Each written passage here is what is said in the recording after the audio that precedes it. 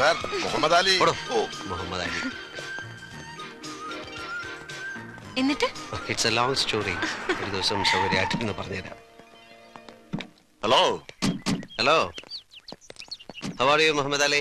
I'm okay ആരവരൊക്കെ my friends my friend Sandra. Hello ഇവൻ എന്റെ company work ചെയ്യായിരുന്നു. Last year ഇവനെ ഞാൻ പിടിച്ചുവിട്ടു അല്ലേ? Come Sunny I want to talk to you എനിക്ക് നിന്നോടൊന്നും സംസാരിക്കാനില്ല. നീ എന്റെ കമ്പനിയുടെ സൈലന്റ് പാർട്ട്ണർ ആണെന്ന് പറഞ്ഞ് എനിക്കെതിരെ കേസ് കൊടുത്തിരിക്കല്ലേ അതൊക്കെ കഴിയട്ടെ. എന്നിട്ട് സംസാരിക്കാം.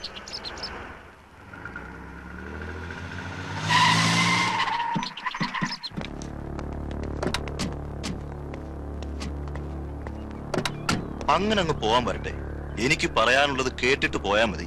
എനിക്ക് നിന്നോടൊന്നും സംസാരിക്കാനില്ലെന്ന് പറഞ്ഞില്ലേ? എന്താ മുഹമ്മദിൽ ചെയ്ത തെറ്റ്? നാല് വർഷം കമ്പനി ജോലി ചെയ്തിട്ട് വെറുതെ അങ്ങ് ഇറക്കി വിട്ടാ പോവാൻ പറ്റുമോ? തനിക്കിതൊക്കെ അറിഞ്ഞിട്ട് എന്താ കാര്യം? നിർബന്ധമാണെങ്കിൽ പറയാം. ഞാനേ ഇവനെ എന്റെ ഒരു ബ്രദറിനെ പോലെ കൊണ്ടു നടന്നാണ്. ഓക്കെ? കഴിഞ്ഞ വർഷം വരെ എന്റെ ബിസിനസ്സുകളിൽ ഏറ്റവും പ്രോഫിറ്റ് കിട്ടിയിരുന്നത് എന്റെ കൺസ്ട്രക്ഷൻ കമ്പനിയിൽ നിന്നാണ് കഴിഞ്ഞ ഒരു വർഷമായി ഞാൻ കൊടുക്കുന്ന ടെൻഡറുകളിൽ നിന്ന് അയ്യായിരോ പതിനായിരോ കുറച്ച് ഒരു ചൈനീസ് കമ്പനി പിടിക്കുന്നു. ഞാൻ കൊടുക്കുന്ന ടെൻഡറുകൾ ഇത്ര കൃത്യമായിട്ട് ആ ചൈനീസ് കമ്പനി എങ്ങനെ അറിയുന്നു?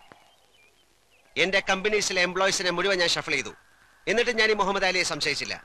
അവസാനം സിംഗപ്പൂർ ഗവൺമെന്റ് സീ സൈറ്റിൽ പണിയാൻ പോകുന്ന ഒരു ഫൈവ് സ്റ്റാർ ഹോട്ടലിന്റെ കോൺട്രാക്ട് കോട്ട് ചെയ്തപ്പോൾ മുതൽ ഞാൻ ഇവന്റെ മേലൊരു കണ്ണുടക്കി വെച്ചു. എന്റെ നിഴൽ പോലെ പറ്റി നടന്ന ഇവൻ നക്കാപ്പിച്ച കാശിന് വേണ്ടി ഒരു ചൈനക്കാരൻ എന്നെ ഒറ്റുകൊടുക്കുകയായിരുന്നു. പക്ഷെ കർത്താവ് എന്റെ കൂടെ ആയിരുന്നു. ഗവൺമെന്റ് ആ പ്രോജക്ട് മാറ്റിവെച്ചു പുതിയ ടെൻഡർ നോട്ട് ക്ഷണിച്ചു. അതുകൂടെ ചോർത്തി കൊടുത്ത് എന്റെ കുതികാൽ വെട്ടാൻ ഞാൻ ഇവനെ സമ്മതിച്ചില്ല. ഞാൻ ഇവനെ പറഞ്ഞു വിട്ടു. ഓക്കെ അതാണ് കാരണം. Come come Chandra. Wait, darling, you can't go like that. Listen, listen. I don't want to create any problem. Leave her. വിട്ടില്ലെങ്കിലോ?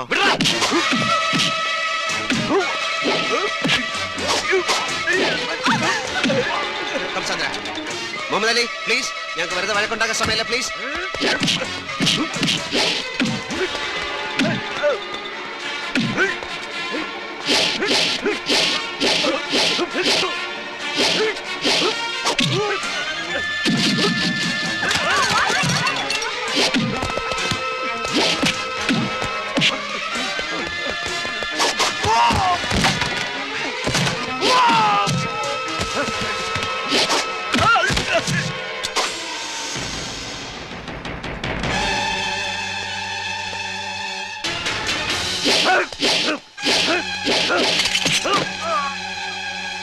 Sonny, I'll shoot you, man.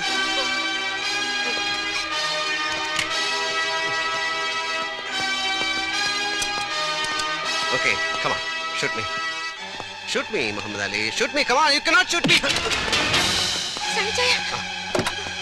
Muhammad Ali, please.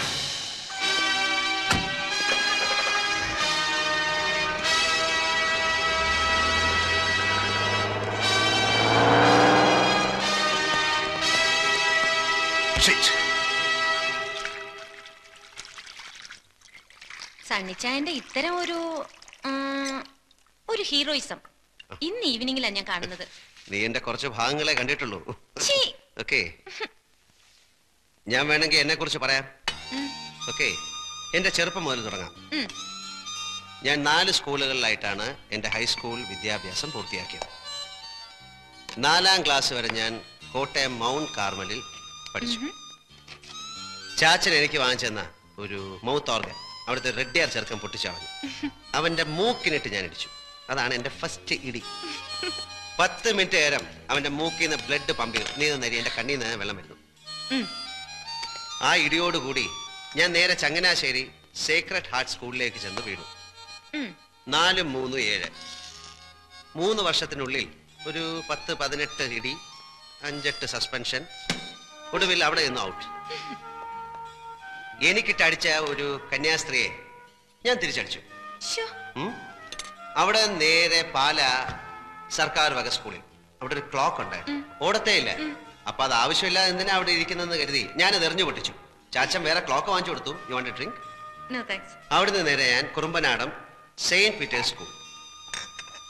അവിടെ വെച്ച് മൂന്നാൽ ഗുരുതരമായ കേസുകൾക്ക് എന്നെ പിടിച്ചു. എന്താണെന്ന് പറയുന്നില്ല. വളരെ വളരെ മോശമായ കേസുകളാണ്. പക്ഷെ ഏറ്റവും നന്നായി പഠിക്കുന്ന ഒരു പാവം കുട്ടി എന്ന നിലയിൽ അവരെന്നെ എസ് എസ് എൽ സി വരെ തുടരാൻ സമ്മതിച്ചു. അവസാനം റിസൾട്ട് വന്നപ്പോൾ ഏറ്റവും കൂടുതൽ മാർക്ക് വാങ്ങിച്ച് ഈ തമ്മാടി പാസ്സായി. അവിടുന്ന് ചങ്ങനാശ്ശേരി എസ് ബി കോളേജ്. അവിടുത്തെ കാര്യമൊന്നും പറയണ്ട. വിത്തൗട്ട് സണ്ണി നോ കോളേജ് അത്ര വിശേഷമായിരുന്നു. വർഷങ്ങൾ കഴിഞ്ഞിട്ടും നാൻസിയെ മറക്കാൻ എനിക്ക് കഴിഞ്ഞില്ല. മനസ്സുകൊണ്ട് അവൾ എപ്പോഴും എന്റെ കൂടെ ഉണ്ട് ഇവിടെ ഈ സിംഗപ്പൂരിൽ. പിന്നീട് സണ്ണിച്ചൻ നാട്ടിൽ പോയിട്ടില്ല? ഇല്ല. വേറൊരു വിവാഹത്തെക്കുറിച്ച് ചിന്തിച്ചിട്ടുമില്ല. നാട്ടിൽ നിന്ന് ഫോൺ ചെയ്യുമ്പം അമ്മച്ചിക്ക് ഒന്നേ അറിയണ്ടു എപ്പോഴാണ് എന്റെ കല്യാണം എന്ന് അത് നടന്നു കാണാൻ വേണ്ടി മാത്രം ജീവിച്ചിരിക്കുന്ന പോലെ. ഇനി ഫോൺ ചെയ്യുമ്പോൾ ഞാൻ പറയും കെട്ടാൻ ഞാൻ റെഡി ഇവിടെ സുന്ദരിയായ ഒരു നസ്രാണി കൊച്ചിനെ ഞാൻ കണ്ടുവച്ചിട്ടുണ്ട് ദിവസം നിശ്ചയിച്ചാളെ. അപ്പൊ നാൻസി? അവൾ പോയി. കഴിഞ്ഞ വർഷം എനിക്കൊരു വെഡിങ് കാർഡ് കിട്ടി. വധു നാൻസി വരൻ എന്റെ കുടുംബം തകർത്ത പുല്ലാങ്കുന്നേൽ പാപ്പച്ചന്റെ മകൻ പോളച്ചൻ. ഇതാ പറയണത്. വിലപിടിപ്പുള്ള ഒന്ന് നഷ്ടപ്പെടുമ്പോ മറ്റൊന്ന് നമ്മെ കാത്ത് എവിടെയോ ഉണ്ടെന്ന്.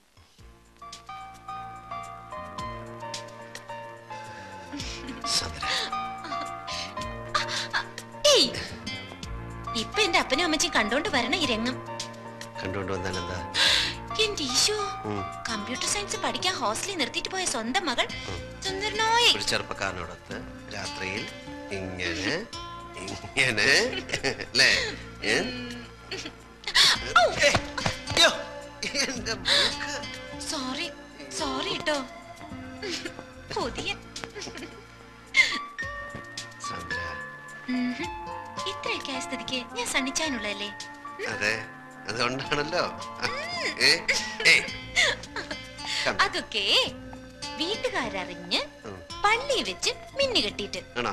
അതുവരെ എന്റെ പൊന്നു മോന് ക്ഷമിച്ചൂടെ.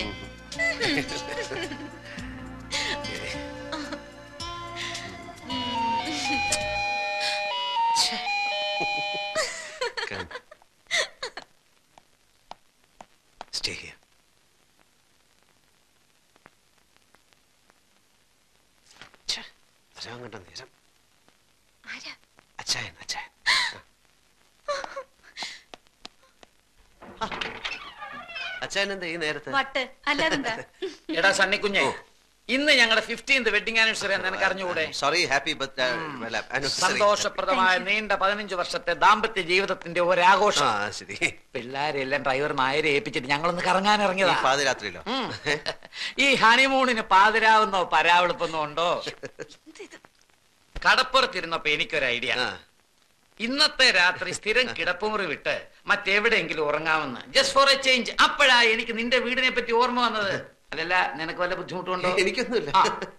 പിന്നെ ഞങ്ങളുടെ ഈ ത്രില്ലും മൂടും ഒക്കെ കണ്ട് നിനക്ക് ഒരു പെണ്ണ് കെട്ടണമെന്ന് തോന്നുകയാണെങ്കിൽ ഒറ്റ വെടി രണ്ട് പക്ഷി. നീ വന്നേ. ഇനി വന്നേന്ന് ഒരു പെഗ്ഗെട്. ചേച്ചി ഒരു. നീ പെഗ്ഗെടുക്കാൻ. അല്ല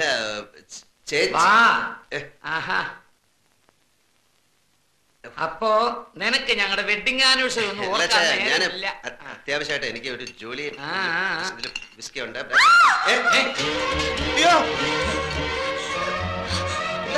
അവിടെ അവിടെ ഒരു പെണ്ണ്. പെണ്ണ എവിടെ? ഒരിക്കലും ഇല്ല. രാത്രിയിൽ ഇങ്ങനെ പെണ്ണ് വരാനാ? ഇച്ചയ അവിടെ ഒരു പെണ്ണ്. ചുമ്മാ ചുമ്മാ ചുമ്മാ. നീ നിർത്ത്. പെണ്ണൊന്നും ഇല്ല അവിടെ നീ ശരിക്കുണ്ടോ അതെ വെളുത്ത ഫ്രോക്ക് ഇട്ടൊരു പെണ്ണ്. അയ്യോ അത് ഞാൻ പറഞ്ഞിട്ടുണ്ടെന്ന് തോന്നുന്നു. ഇവിടുത്തെ ജോലിക്കാർ പലരും കണ്ടേ ചേ നമ്മളെ ഈ വീട് വാങ്ങിച്ച ഫ്രഞ്ചാരി മദാമേടന്നല്ലേ അവരുടെ ഒരു ആന്റി ഇവിടെ പോയസം കഴിച്ച് മരിച്ചിട്ടുണ്ട്. അവർ രാത്രി ഫ്രോക്ക് ഇട്ടുണ്ട് ഇറങ്ങി ഈശോയെ, ഇത് മതാമിയൊന്നുമല്ല മലയാളിയാണ്. ഞാൻ ശരിക്കും കണ്ടതാണ് എനിക്ക് ആ മദാമയുടെ പരിപാടിയിൽ ഏതെങ്കിലും മലയാളി പ്രേതങ്ങളായിരിക്കുന്നത് അങ്ങനുണ്ട്. വേണ്ട വേണ്ട. അല്ല, അങ്ങനുണ്ട് ആ മലയാളി പ്രേതം. എനിക്കൊന്ന് കാണുമല്ലോ വേണ്ട ചേ ആവശ്യമില്ല പ്രേതത്തിനോട് കളിക്കണ്ട. കുഞ്ഞെ ഞാൻ ആരാന്ന് നിനക്കറിയാമോ കടമറ്റത്തച്ഛന്റെ ഗോത്രത്തിൽപ്പെട്ടവനാ. ഒരു പ്രയത്നം നിങ്ങൾ അച്ഛാ, വേണ്ട അച്ഛാ. അച്ഛാ, ആവശ്യമില്ല തോക്കും കൊണ്ട് വേണ്ട? ഞാൻ പറയുന്നത് അച്ഛാ വേണ്ട അച്ഛാ. സണ്ണി ഇങ്ങോട്ട് പോകണ്ട. ഇല്ലാതെ കൊണ്ട് പോവില്ല. പ്രേതത്തെ ഇത്. കളിക്കാൻ പോണെന്ന് പറയ്. വേണ്ട. അച്ഛാ ഷൂട്ട് ചെയ്യരുത്. അത് പ്രേതമല്ല. എന്റെ ഫ്രണ്ടാ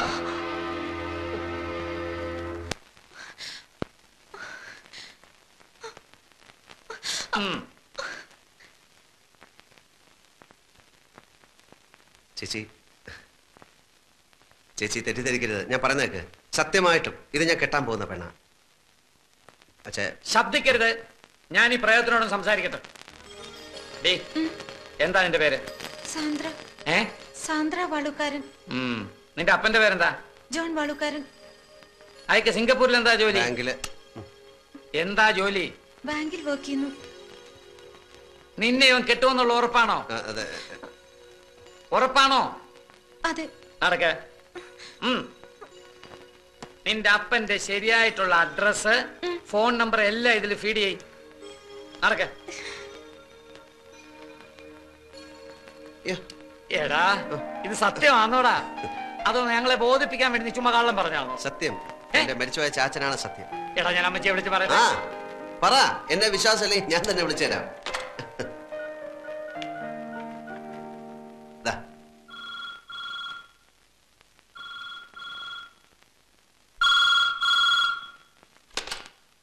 ഹലോ.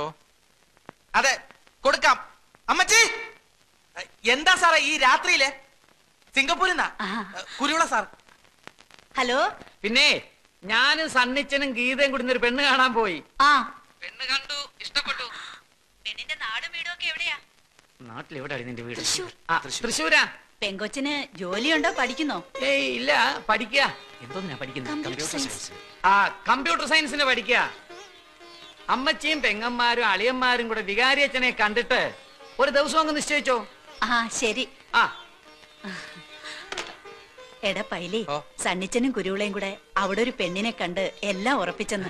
അവനത് പറയാൻ നാണായതുകൊണ്ടാന്ന് തോന്നുന്നു. കുരുവിളെ കൊണ്ട് വിളിപ്പിച്ചത്.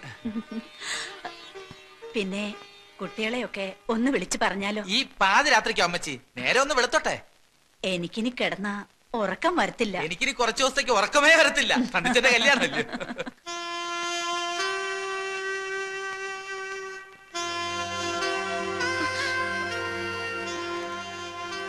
ദേ, ഇപ്പം വീട്ടുകാരെ അറിയിച്ചു.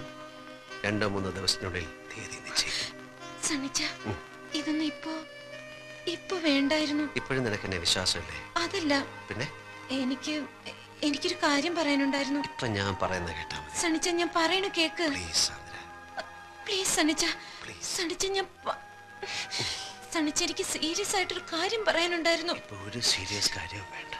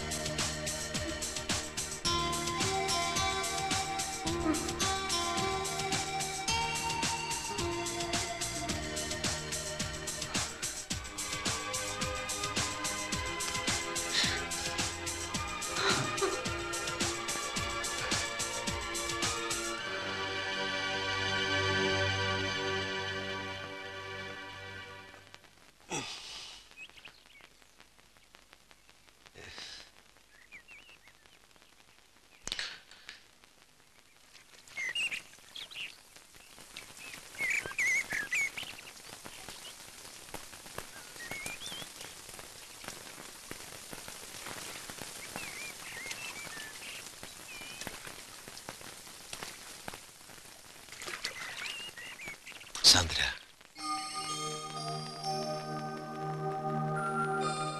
സോറി എം സോറി മിന്നെ കിട്ടിയില്ല. മന്ത്ര കൂടി തന്നില്ല. പക്ഷേ ഈ കഴിഞ്ഞ രാത്രി മുതൽ